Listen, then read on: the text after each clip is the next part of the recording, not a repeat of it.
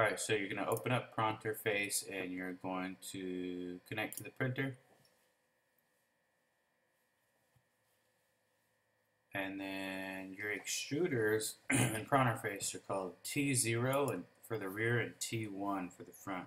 So you're going to go T0, enter, set, and that'll set your temperature. You're going to go T1, enter, set, that'll set your temperature, set the bed temperature. And if you want to extrude, T0, extrude 5 millimeters, that'll extrude 5 in the rear, T1, extrude 5 in the front. Purge any old filament or get rid of any air that you have um, so that when it starts printing, you'll actually print something. Take your calibration squares AMF file. And I've got it here on my desktop.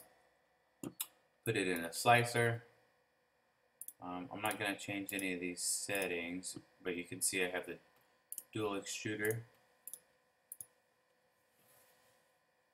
Um, INI files loaded and I'm going to export my G code put it on my desktop. Calibration squares save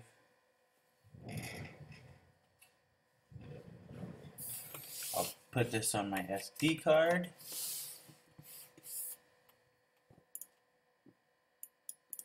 Here it is. So calibration squares G code. Put it on there. Replace. Eject this guy. I'm going to throw it in the printer and print it. So you get your old extruder offset right here.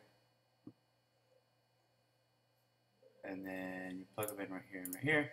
And then on the print that you just did with the squares, you make the measurements and plug those in there. It gives you your new X and your new Y. So you take that and plug it in over here.